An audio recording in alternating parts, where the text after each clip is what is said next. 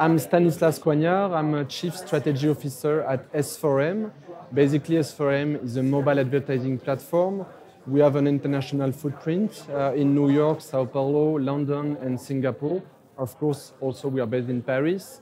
And basically, what we want to provide is the right solution for brands, uh, advertisers, so we can target the right user in the best context uh, possible. And that's why we are very interested uh, about data and the way data can help us to reach uh, the right uh, user.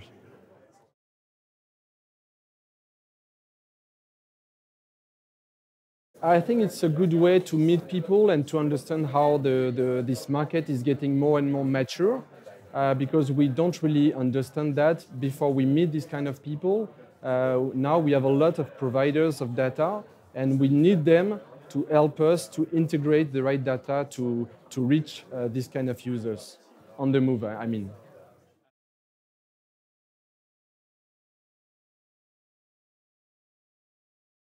I think it's the only way to uh, please uh, the mobile user and to not be intrusive on a very personal device uh, because we all know that mobile is the last personal device and we don't want to disturb the user while he's surfing or is using uh, an app or a service.